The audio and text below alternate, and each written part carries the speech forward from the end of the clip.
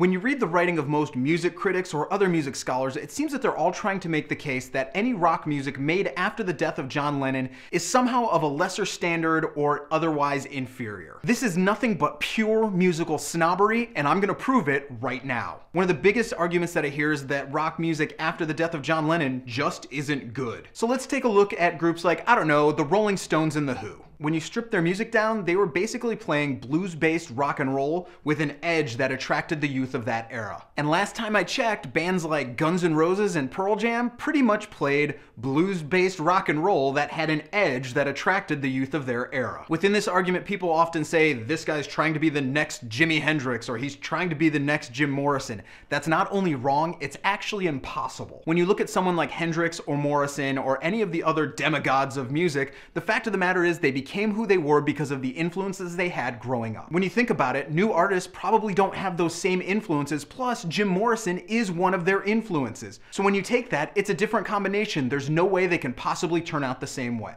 Another commonly used idea to slight the rock bands of the 80s and later is that they rely heavily on technology. The fact of the matter is, whether it was the Beatles or Pink Floyd or any other band from that golden age of rock and roll, they were always looking to use the latest technology to get the most out of their recording. Strangely enough, over the past few years, a lot of rock bands have been doing the exact opposite, going back to four-track recorders or even more rudimentary systems to try and get a more authentic and more honest feel. But perhaps the most outrageous and outright pompous argument that rock snobs try and get away with all the time is that the post-Lennon rock world lacks singers who bring about soul and there's no message in the music. Really?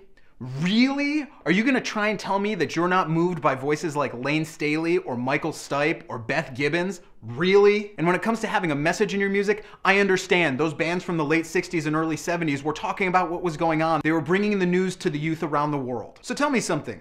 How is that any different from what Rage Against the Machine or Fugazi have done during their careers? Oh, and for those of you who like to say that the lyrics of today's music is too vulgar, it's just too dirty, why don't we go look at Led Zeppelin's The Lemon Song, or you can talk about the meaning behind the Allman Brothers' One Way Out. Finally, to those who claim that the art within music has gone, Go and check out the Flaming Lips. Go out and check Phish. Tell me how they express the idea of art in every single sense of the word isn't as good or better as it was back in the day. In the end, those who try and degrade the quality or downplay the importance of the rock scene of the last 30 years are nothing more than uninformed, close-minded musical snobs. So honestly, get over yourself.